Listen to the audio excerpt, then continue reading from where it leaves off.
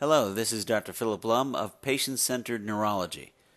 I have put together this short video to help you understand EMG nerve conduction study testing so that you can undergo testing if needed as comfortably as possible.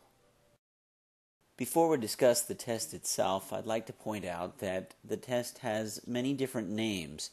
The correct one is electromyography nerve conduction studies, but you will hear the test referred to variously as EMG nerve conduction studies, EMG NCS, EMG NCV, and sometimes just EMG. EMG nerve conduction study testing is a set of related tests performed on people by neurologists and physical medicine and rehabilitation specialists. The studies reveal the workings of the peripheral nervous system and the locations and character of any problems if there are any. EMG nerve conduction studies consist of two separate parts. Typically, the first part performed is the nerve conduction study, even though it's listed second in the name of the test. This technique involves stimulating a nerve and recording how long the stimulus takes to move the electricity down the nerve to a recording site. The second test performed is electromyography. The physician will place a needle into one of the muscles and then record the electrical activity produced by that muscle both at rest and with movement. The most common reasons to be referred for EMG nerve conduction study testing are signs or symptoms of peripheral nervous system malfunction. Numbness or weakness in the arms, hands, legs, or feet are the most common reasons for the test to be ordered. EMG nerve conduction studies should only be performed by neurologists and physical medicine and rehabilitation physicians. It is a complex, dynamic study requiring detailed attention, knowledge, and complete understanding of the peripheral nervous system. Many laboratories, including ours, have a technician perform the nerve conduction velocity portion of the study. The EMG portion is almost always performed by the physician. The study is always to be done with the physician present at the laboratory and never done remotely. At patient centered neurology, the nerve conduction study portion of the test is done by Chris Bush a certified technician who performs thousands of tests per year and has done so for decades.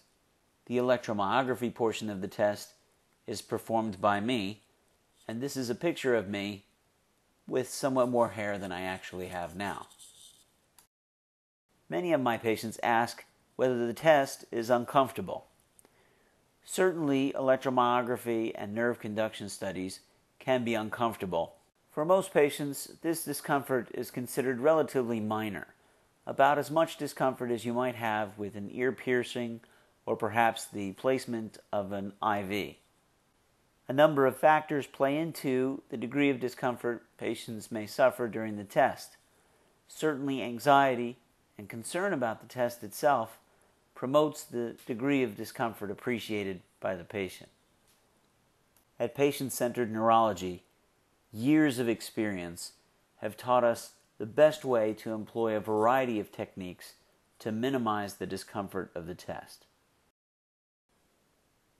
A small amount of preparation on your part will make this test much more easy to perform and much more efficient.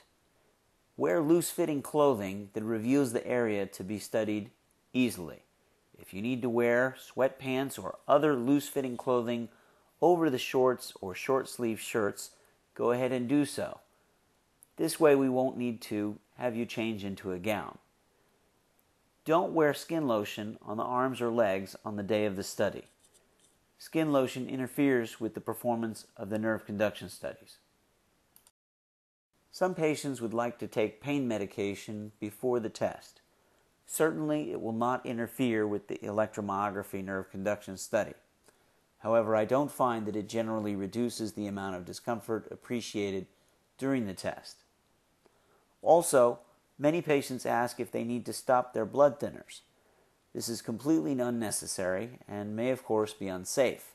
But please do let us know if you are taking blood thinners so that we can prepare you in the best way possible.